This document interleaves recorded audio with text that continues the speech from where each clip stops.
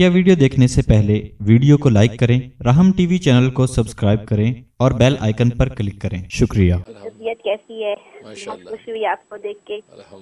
और आपकी इस इसरा महराज के भी प्रोग्राम बहुत ही उम्दा थे और खुतबा हो गया। सब कुछ बहुत अच्छा था और फिर कल जो है वो मैंने क्विज भी बच्चों के दरमियान रखा था बड़े और बच्चों के दरमियान में। अच्छा, और अच्छा। जिसने जीता तो उसको इनाम भी दिया तो सबने बहुत इंजॉय किया।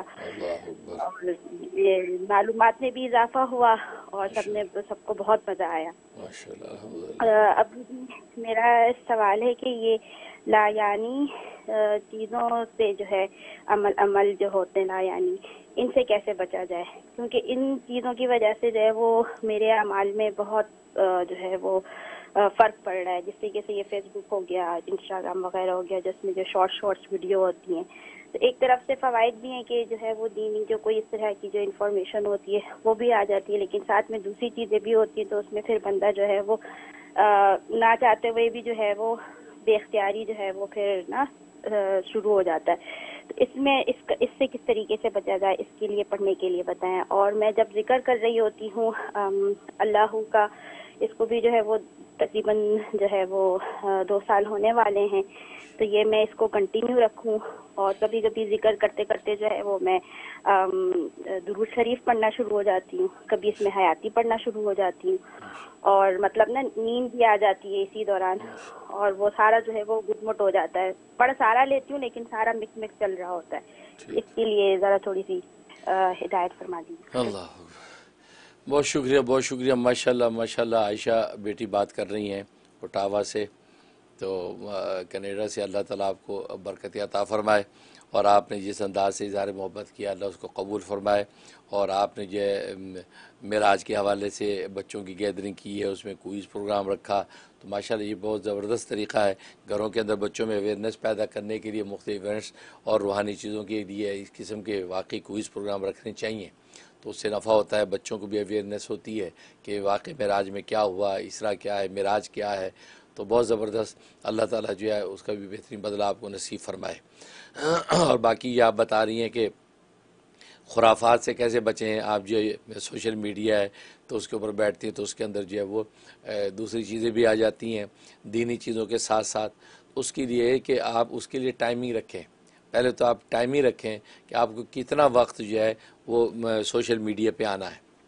दीन की बात सुनने के लिए कितना वक्त के लिए आना, एक घंटा, दो घंटा, और कौन से औकात में? सबसे पहले वो मुतयन करें। दिन में आपने मसलन सोचा, दिन में एक घंटा, दस से ग्यारह बजे मसलन, ये मैंने ये करना है। उसके अलावा रात में आपने सोचा, चलो मगरिब के बाद जो है, वो मैंने एक घंटा, जो है वो आठ से नौ, मैंने ये सुनना है। दो घंटे हो गए। अब इन्हीं घंटों ही को फोकस करके, इसी वक्त के अंदर आप बस सोशल मीडिया के अंदर जो नेक बातें सुने, बुज़ुर्गों के क्लिप सुने, बुज़ुर्गों की बातें सुने ज़िक्र असकार के हवाले से सुने, मेरी जो प्रोग्राम वो आप देखें। तो उसमें बीच में चीज़ें आ जाती हैं तो उनसे उनको अवॉइड करें, फ़ौरन स्किप करने, अवॉइड करने का आपको ऑप्शन होता है। उसको अवॉइड करें, कभी नज़र पड़ गई तो फ़ौरन इस्तिग़फ़ार करें, या अल्लाह माफ़ कर दे, मेरा मकसद तो ये नहीं। क्या करें सुपर मार्केट है इस वक्त पूरी दुनिया। तो इस सुपर मार्केट है सुपर मार्केट में मैं तो सब्ज़ी लेने आई हूँ कि क्या करूँ, खंजीर के गोश्त पे भी नज़र पड़ गई, क्या करूँ शराब की बोतलों पे भी नज़र पड़ गई। मैं तो सोडा लेने आई हूँ, या अल्लाह ये नज़र है शराब पे भी पड़ गई। तो ये तो वो एक सुपर मार्केट है ये, जो इस वक्त सोशल मीडिया। तो ये बीच में चीज़ें आ गई, या अल्लाह, मैं मैं इख्तियार से, चाहत से नहीं है, खुद आ गई या नज़र पड़ गई, माफ़ कर दे। फ़ौरन अल्लाह से माफ़ी मांग ले, फ़ौरन माफ़ी मांग ले। जैसे हदीस में आता है, कोई ज़िक्र खैर कर ले, तीसरा कलमा पढ़ ले। तीसरा कलमा एक दफ़ा पढ़ ले। उसका फ़ायदा यह है कि जहाँ वो बुराई की, कल को गवाही खड़ी होगी, वहीं आपकी नेकी की गवाही भी खड़ी हो जाएगी और हदीस में फरमाया कि दोनों एक दूसरे से अल्लाह क्रॉस कर देंगे। तो भाई, इसका अहतमाम करें कि फोकस करें टाइमिंग को। इससे सोशल मीडिया पे जो भी लोग टेलीफोन लेके फिरते हैं, उन सब बहनों भाइयों से ये दरख्वास्त है, आप टाइमिंग रखें। कि दो घंटे ये एक घंटा मुझे करना है, बस उसके ऊपर फोकस है। उससे इधर उधर घंटा पूरा हो गया। कुछ भी आ रहा बंद करके रख दें। अब अपनी तिलावत करें, घर का काम करें, अल्लाह की इबादत में लगें, हैं सिला रहमी के लिए खैर खैरी पूछें, जो फिज़िकली एक्टिविटीज़ होती हैं, उनके अंदर लग जाएँ। फिर जब टाइम आए तो फिर आप ले लें, फिर नेक बात सुनने तो बस इस तरीके से अब आप करेंगे तो सोशल मीडिया आप पे हावी नहीं होगा। लेकिन अब तो हालत ये है कि टाइम पे टाइम जो है, यहाँ तक कि औरतें हंडियाँ पका रही होती हैं और सोशल मीडिया के सामने होता है। और साथ ड्रामा सुन रही होती हैं और फ़नी क्लिप देख रही होती हैं और जब वो प्रैंक देख रही होती है और साहब हंडिया पक रही होती है। और कभी कभी गलती से फ़ोन को हंडिया में डाल देती हैं। हैं, हंडिया को गारबी में फेंक देती हैं, चमचा जेब में डाल लेती हैं और फ़ोन को हंडिया में फेंक दिया। पता चला नहीं, जेब में तो फ़ोन डालना था। तो मतलब ये हरकतें हैं। तो ये जो है, बहुत कुछ फ़नी चीज़ें आती हैं। इसलिए भाई, ये फोकस करें।